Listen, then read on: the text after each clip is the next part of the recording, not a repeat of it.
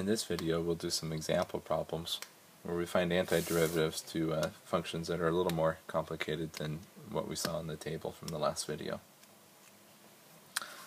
So for example, let's start out with this. I want to find the antiderivative of x squared plus 2x plus 1.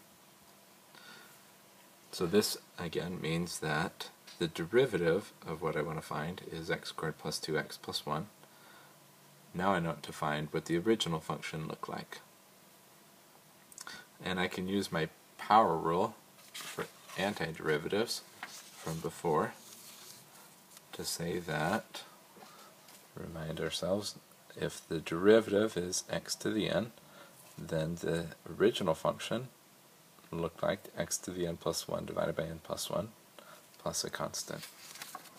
So here I have a derivative that is uh, x squared plus 2x plus 1.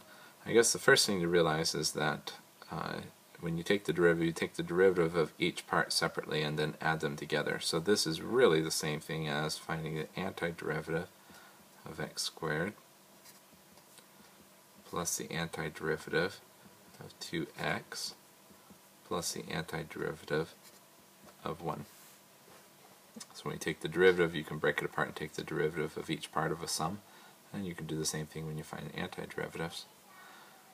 So using our rule, let's just remind ourselves what our rule is. I'll put it up here, that the antiderivative of x to the n is equal to x to the n plus 1 divided by n plus 1 plus a constant. The antiderivative of x squared dx is I add 1 to the power and divide by the new power. And it could be plus a constant. And here, uh, this is 2 times x, so the antiderivative is 2 times, I add 1 to the power,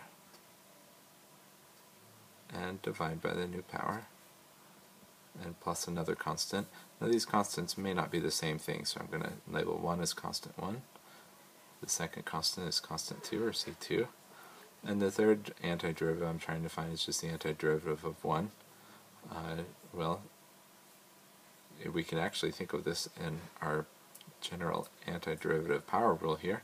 We can think of 1 as 1 times x to the 0 power and so we add 1 to the power and divide by the new power and add a constant.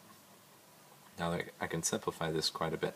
First of all, if I have a number plus a number plus a number, three constants that are added together, I just get another number. I just get another constant. So typically what we do is we combine all these constants together and just write them as 1 plus c at the very end. Plus c. Alright, the x cubed plus 3, I can't simplify that too much, I'll just write it down. The 2x squared divided by 2, I can cancel the 2's, so I get x squared, and uh, divided by 1, I usually don't write the divided by 1 or the power of 1, so I can just write x cubed plus x squared plus x plus a constant. So this is, to recap, the antiderivative, or the indefinite integral of x squared plus 2x plus 1. Let's do a little bit harder problem. Uh, what if we have something that looks like this? Antiderivative of 5x squared plus 2 times the square root of x minus 1 over x. So here we have uh, something that we've seen before, something that is x to a power. This is actually x to a power. We'll just write it as x to the 1 half. I'm going to rewrite this thing as 5x squared plus 2 times x to the 1 half power. And then here, this is going to be uh, minus x to the negative 1.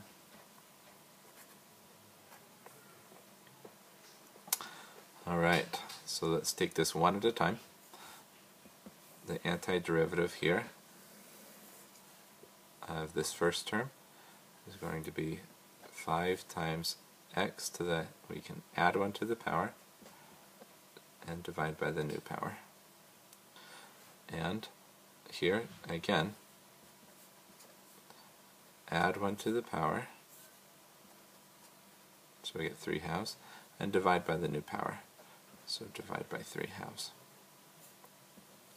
Here, I'm going to get in trouble. If I add 1 to the power and then divide by the new power, I would be adding 1 to the power, which is which make it 0, and dividing by 0. There's big trouble there.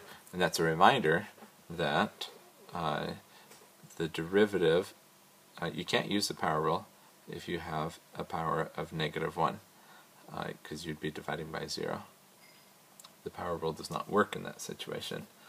Uh, instead, we have this other rule for 1 over x, or x to the negative 1. If we have 1 over x, then the antiderivative is the natural log of the absolute value of x. So this last term here is minus the natural log of the absolute value of x. And then I'm going to add one catch-all constant at the very end, plus c, that takes care of the constants that I would have added in each of these terms.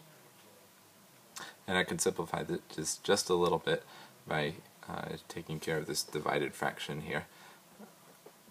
5 thirds x cubed plus, now remember when I have a fraction on the bottom I invert and multiply.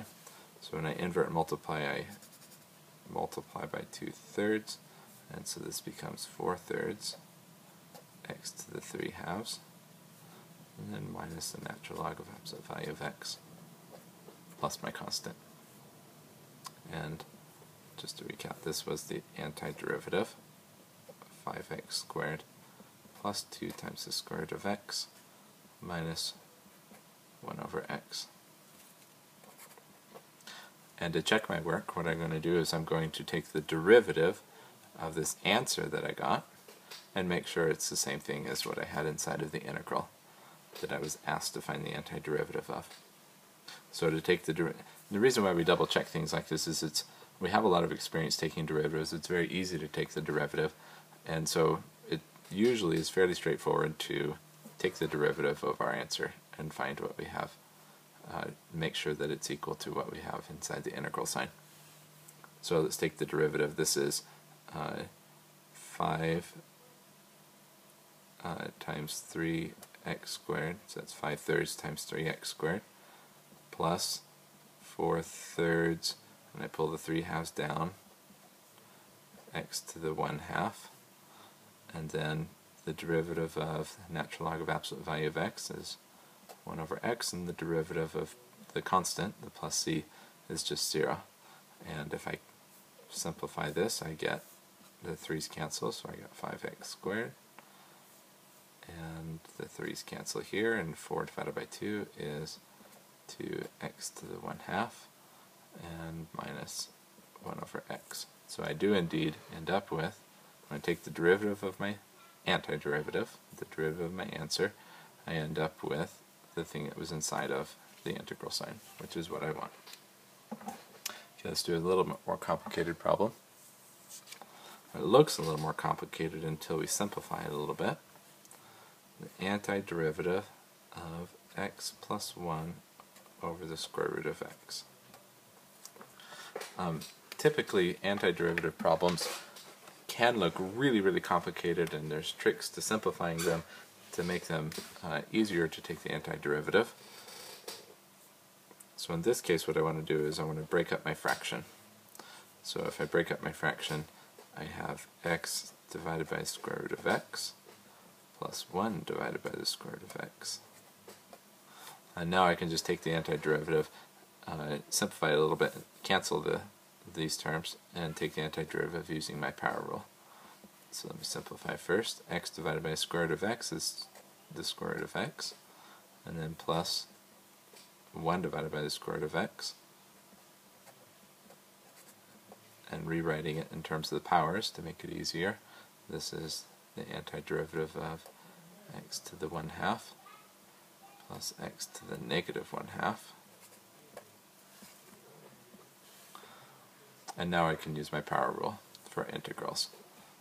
This is add 1 to the power and divide by the new power. And here, add 1 to the power and divide by the new power. And then always, always, always add my constant. And I can simplify this a little bit. Uh, again, inverting and multiplying, I get 2 thirds x to the 3 halves plus 2 x to the 1 half plus a constant.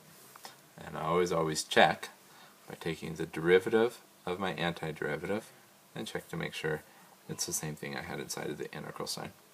So if I take the derivative, I end up with 2 thirds, this is my check, 2 thirds times, I pull the power down, 3 halves x to the 1 half, plus 2, pull the power down, times 1 half x to the negative 1 half, plus 0.